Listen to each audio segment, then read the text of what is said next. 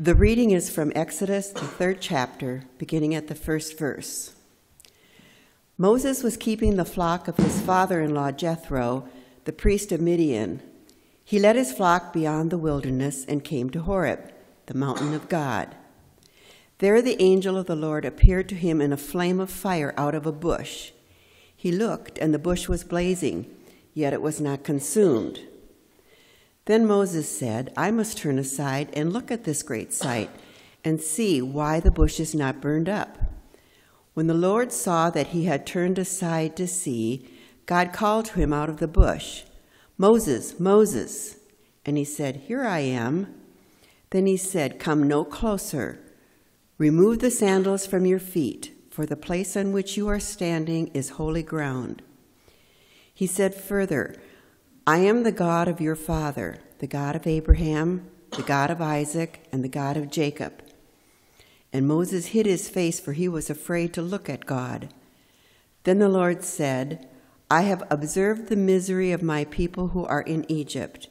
I have heard their cry on account of their taskmasters. Indeed, I know their sufferings, and I have come down to deliver them from the Egyptians, and to bring them out of that land to a good and broad land, a land flowing with milk and honey, to the country of the Canaanites, the Hittites, the Amorites, the Perizzites, the Hivites, and the Jebusites. The cry of the Israelites has now come to me. I have also seen how the Egyptians oppress them. So come, I will send you to Pharaoh to bring my people, the Israelites, out of Egypt. But Moses said to God, Who am I that I should go to Pharaoh and bring the Israelites out of Egypt? He said, I will be with you and this shall be the sign for you that it is I who sent you. When you have brought the people out of Egypt, you shall worship God on this mountain. The word of the Lord. Well, we are be, uh, beginning a five week series on discernment and, and how it works uh, in our lives and what it means for us uh, individually going forward uh, as God uh, calls each of us uh, to various ministries and tasks and things like that in our lives. But not only individually for us, but also as a congregation as we look forward into the future where God might be calling us. And in order to do so, we're looking at uh, some pretty famous discernment stories that come out of Scripture. And, and this week, uh, this story is, is, is perhaps so famous that we, that we miss the, the sheer strangeness of it all. Uh, last week, for example, we talked about Elijah and, and, God coming in the sheer silence of that, and, and that seems a little uh, like one of the things God would do. But today, God uh, comes in a bush, a burning bush. And, and, and we cannot lose the fact that basically the story that was just read for us takes place between a bush and a human being. All right? You know, sometimes when God gets talking, you think that, you know, all of a sudden God starts looking, you know, you know like George Clooney. And, uh, but in reality, here, what's going on is that, that Moses is talking to a bush. I just want to point that out because sometimes, you know, we go out in our lives and we see people doing strange things. I'm sure, you know, as Jethro was wandering by, going, Why aren't you taking care of the sheep? And Moses is like, I'm having a conversation. Because I often wonder, for example, you know, this, this burning bush. I mean, you know, is this the usual path? I mean, Moses is about 40 years old when, he, when this story takes place, uh, and he has uh, become uh, moved into Midian to be with his father in law and help take care of the sheep, uh, who is Jethro. And I often wonder if this was something that is this a path that Moses took every day? You know, so this is something that he saw every day. Uh, sort of those of you who commute on the same route every day wherever you go, and you just kind of see it, and then one day all of a sudden it's it's a burning bush, and you're like, well, that's interesting. Uh, or is this a place where Moses had rarely gone? He never used this particular path. He was leading the sheep to a different pasture, and, and this was brand new to him. And, and then all of a sudden he sees this burning bush and says, Oh, burning bush path, you know, uh, things like that. Because, you know, that bush could have been, you know, lit for 14 years waiting for somebody to come by saying, Please, someone talk to me. But what's interesting, right, is that Moses sees a burning bush that's not consumed. And he says to himself, This is what I think is so fascinating the way this story has come down to us. He sees this bush that's burning and is not consumed, and he says, I must go and see what this is. Now, because the rest of the story is so important, not only to the life of Moses, but indeed to all of our ancestors and, and our entire Jewish tradition, we oftentimes just skip over the fact that one of the things that makes Moses so important in his understanding of, of what God is asking him to do is that when he sees something like a burning bush that is not consumed, he says to himself, I need to check this out.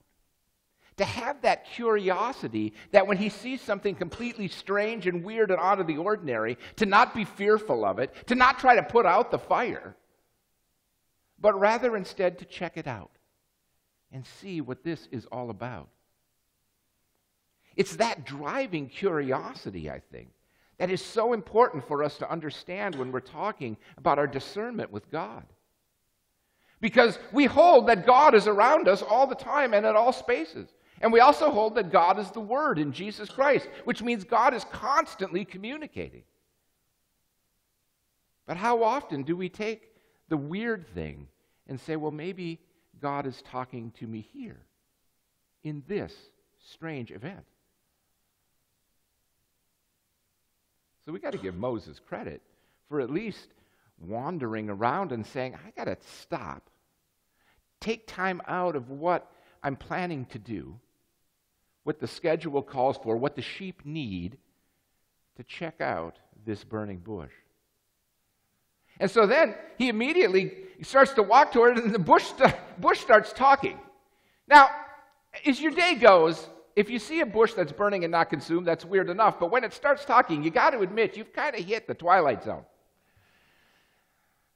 And the bush says, Relax.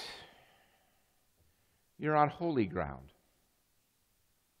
And so Moses takes off his sandals, very, very traditional thing to do when one's on holy ground. We don't do it so much anymore. Most of you wear your shoes when you come to get communion. But um, if you didn't, I'd at least say, hey, Way to be like Moses. So Moses approaches, approaches this, this holy ground and this conversation with God. And, and in the process now, he has a conversation. And it's important that we take a look at what some of this conversation is about. Now, it just so happens that once Moses gets there, he's responded with the Here I am. And there are lots of times, actually, in Scripture where God calls people, says their name, Moses or Isaiah, and they respond, Here I am. But it's also a little known fact that the immediate response after that is, I probably shouldn't have said that. And Moses says, Here I am, and he approaches God, and all of a sudden, Moses finds himself in a very, very strange predicament. Because God says, I am the God of our ancestors. I'm the God of Abraham and Isaac. And at that moment, all the strangeness aside of a burning bush and a talking bush, taking off his shoes and being in the presence of some bush that knows his name, he realizes that now he is in the, pro- in the presence of God and he hides his face. And it's that act now that Moses, his face hidden by his cloak, that he and the bush have this conversation. This conversation that works between Moses and God, where Moses can't even look anymore at this burning bush. And the Lord relates that God has heard and observed the misery of the people down in Egypt. And God has seen what has been going on there. There now has arisen a Pharaoh who no longer knew of Joseph. And so now the Israelite people are in slavery. And God has heard their sufferings, and God needs to find somebody, in this case Moses, to go and relieve the Hebrew children of their suffering, to bring them to a new land land filled with milk and honey, a land that, albeit, has a few people in it, like Canaanites and Perizzites and Hivites and all the other ones. And it's Moses who God has asked to go to release the people from their slavery. And here's where the story gets interesting. Because when God asks you to do something, of course it's God. And of course you're going to say, well, sure. Unless you're Moses. And Moses says, ah, uh, I really wasn't supposed to be on this road. I think you need the next guy coming. Because the first thing Moses says is, um, here's verse 13, for example. Moses says to God, If I come to the Israelites and say to them, The God of our ancestors has sent me to you, they will ask, What name? In what name do you say this? In other words, Moses is like, Let's negotiate. if you're going to ask me to do something, I need to have a little more information than just a talking bush. So, for example, who are you, God of my ancestors? What is your name? And the bush says in English, and I'll translate it I am who I am. Now, the bush actually gives God's name, and this is the only time in Scripture where God's name is mentioned. I am who I am. And in fact, in the Hebrew tradition, just saying God's name brings God to your presence. Which is why in the Hebrew tradition, they don't say God's name because it's very inconvenient in the midst of some things to say God's name and have God actually show up. So, for example, back when Chris and I lived in Chicago, and traffic is miserable. If you've ever, we lived on the north side up by Wrigley Field, and it was super miserable back in those days. And uh, there's never a place to park, and there's always double, triple parking on the streets, and there's cars going, and trucks delivering, and garbage, and it's just a mess all the time. And we were at one particularly busy intersection with this little Mazda pickup truck. There was a time in our lives when Chris and I had enough possessions that we could fill up a Mazda pickup truck. Now it would pretty much take a Bekins moving haul and an airplane. But back in those days, we were in this little pickup truck. I was making a left turn in the middle of a busy intersection, and in front of me was a brand new, spanking, brand new Jaguar. Very impressive. And its license plate was the name of God. And in the middle of this street, I'm backing up. And Chris, who was very skeptical about my driving skills in general, pretty much on this particular case thought I was just bringing us to death. And she goes, What are you doing? And I said, The Jaguar, read the license plate. She goes, Oh my gosh, go faster, go faster. Because the last thing you want is God to be ticked off that somebody put God's name on a Jaguar. Clearly, it was a Cadillac, that God's preference. But they don't say God's name. I am who I am. So then Moses says, Well, if I say that, they're going to ask me to prove it. And it just so happens that Moses is a shepherd. I bet you were wondering why this was here. He's got one of these. He's got a staff. So Moses, uh, so, so the bush says, take your staff, throw it on the ground. Moses throws it on the ground, becomes a snake. Bush says, whenever anyone questions you about whether I am who I am, you just take your staff and something miraculous will happen. And Moses is like, okay. But Moses isn't done yet. He's still negotiating. And he says, all right, listen, Bush. Maybe you called him Mr. Bush. I don't know. The Honorable Bush. I don't know. He says, listen,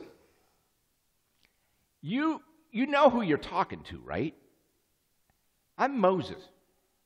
I'm not really good at the old public speaking, going, you know, in front of Pharaoh thing that you seem to want.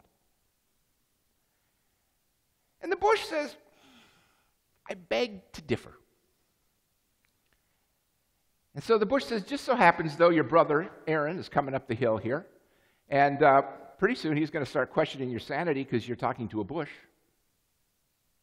And, uh, but I'll bring Aaron, you can bring Aaron along and he'll do all the speaking for you. And at that point, Aaron does indeed show up. Moses tells him what has happened, why he is talking to this bush, and the two of them leave the employ of Jethro and head to Egypt. But it turns out that for all of his doubts and for all of his skepticism that Moses had about whether this bush had picked the right one, the right person to lead the people out of Egypt,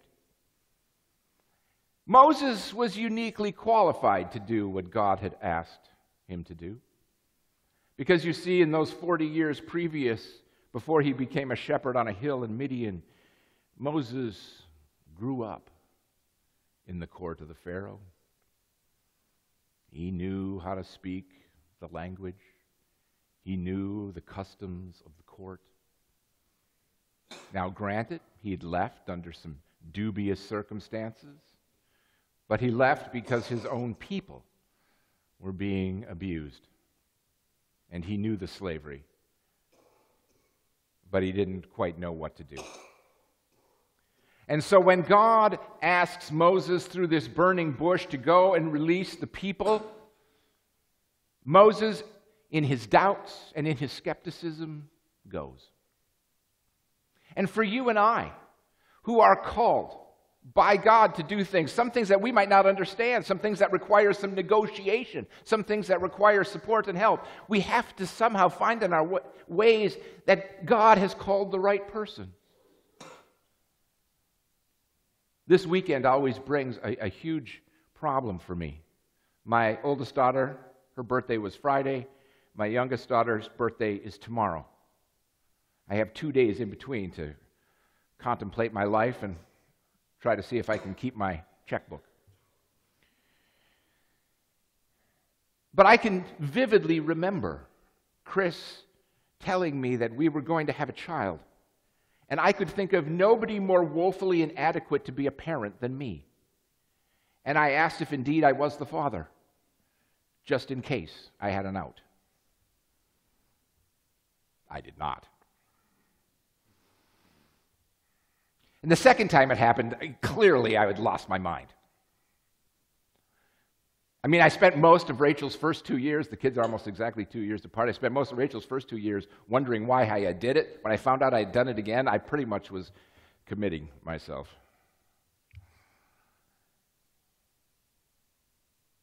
You know, the kids are now almost 30. I don't know anything more about being a parent than I did 30 years ago. I wish they'd had any of you. Have had a chance. We don't know what we're called to do. We don't know the ways in which God is going to ask us to be a parent or lead the Egyptian or lead the Israelites out of Egypt. Be a good neighbor, be a good friend, whatever it might be. But we have to be able to embrace the weirdness of those conversations. The weirdness of Moses talking to a burning bush. The weirdness of being presented with something like parenthood for the first time the weirdness of being presented, that God knows what God is doing, and to trust in that. Because, I mean, let's face it, God's grand plan in life was to have a son who died on a cross. I mean, that's just weird. That somehow one man 2,000 years ago dying on a cross has value to you and I that some guy who gave his life and his last breath into your hands, I commend my spirit, that somehow that's what's going to change the world. That's what's going to take a world of hatred, sexual assault, and sexual abuse and change it into a world of peace and hope. That somehow a guy dying on a cross is going to be able to take with his last breath a world filled with deceit lying, greed, and avarice, and change it into generosity, compassion, and hope. There are a ton of weird things that happen in our lives. And Moses and his story allows us to embrace the weirdness and to be able to talk to God in a way that allows us to see that God has our best interests in heart. And we might not understand. We might feel woefully inadequate to the task called to us, but God will provide.